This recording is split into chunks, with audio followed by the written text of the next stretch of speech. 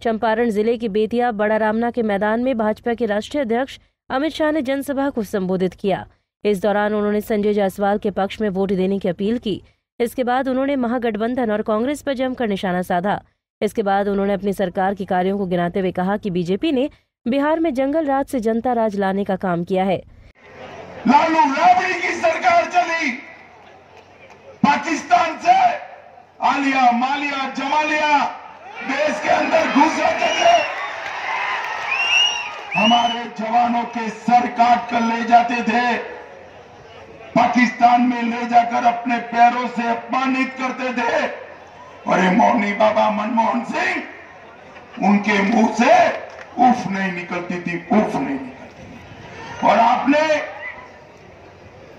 बिहार वालों ने नरेंद्र मोदी सरकार बना दी।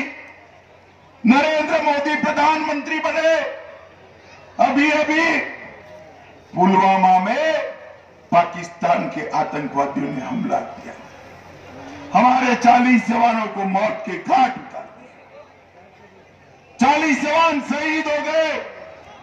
नौनिहाल देश के काम आ गए।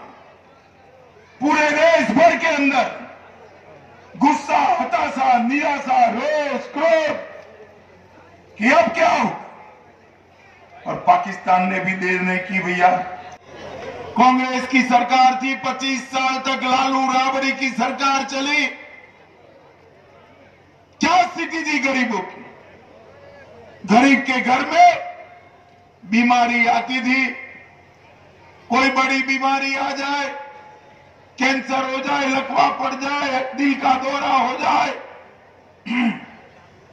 गुर्दा बदलाना हो, लीवर बदलाना हो गरीब बेटा, बाप को बचा। वहीं विजय संकल्प का नारा देते हुए लोगों से पीएम मोदी को वोट देने की अपील की। इस दौरान राष्ट्रीय उपाध्यक्ष रेणु देवी, डॉक्टर संजय जायसवाल समेत अन्य कई नेता मंच पर उपस्थित रहे। बेतिया से शकील अहमद की रिपोर्ट, पंजाब केसरी टीवी।